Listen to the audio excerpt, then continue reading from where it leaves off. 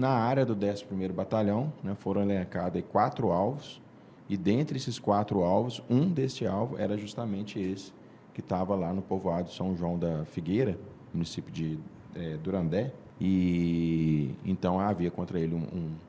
um mandado de prisão por estar em fuga em aberto, tendo em vista que ele não retornou desse benefício que, que lhe foi concedido aí no, pela saidinha de Natal. E aí foi feita uma operação contando aí com comando da companhia lá da, da 29, né, que Durandé pertence à companhia de Moimirim, a 29 CIA, é o comando, comando do pelotão, os militares daquela fração